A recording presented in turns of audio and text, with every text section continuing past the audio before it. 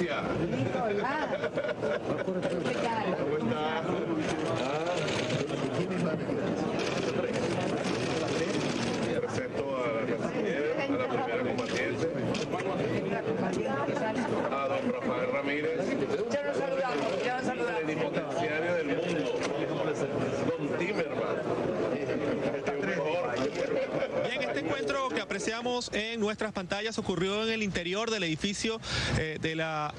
Naciones Unidas acá en la ciudad de Nueva York y en el mismo como podemos ver en las imágenes han estado presentes la primera combatiente, también la canciller de la República Delcy Rodríguez, el canciller de Argentina Héctor Timerman, así como también la representación y las delegaciones de los equipos negociadores de ambos países. Es importante destacar que desde el ascenso al poder del presidente Néstor Kirchner,